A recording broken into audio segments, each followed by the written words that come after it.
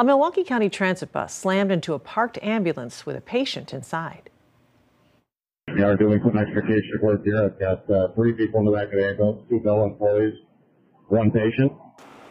It happened near 54th and Villard this afternoon. Brenda Martin is a home care worker who called for the ambulance. It just happened so fast. He hit him. And I see the paramedics fly up and then flip.